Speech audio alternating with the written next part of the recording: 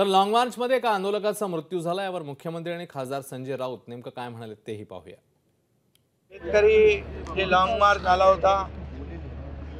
त्या मोर्चाच्या शिष्टमंडळाशी चर्चा झाली. जे पी गावित त्यांचे माजी आमदार नेते त्यांचं शिष्टमंडळ काल चर्चा झाली. आणि ते आज पुन्हा या ठिकाणी आपल्या गावी जाणार आहेत.